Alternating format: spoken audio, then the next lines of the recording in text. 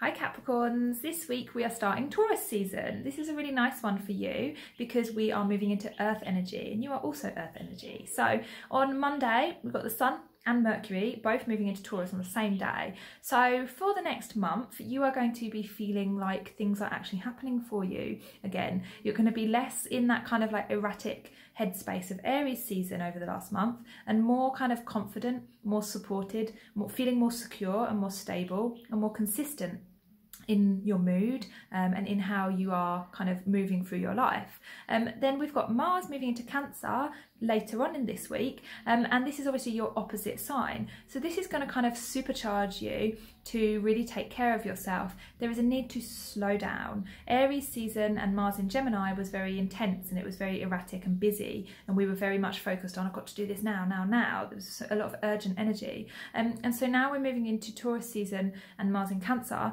There is real kind of slowing down and easily kind of moving forwards without all of the pressure.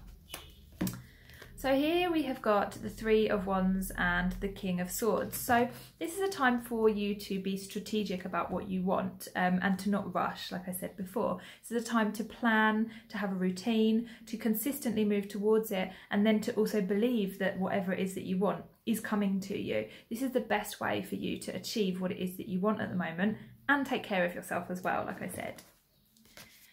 So guys, if you would like full readings, all of our details are below. Otherwise, hit that like button and I hope to see you next week.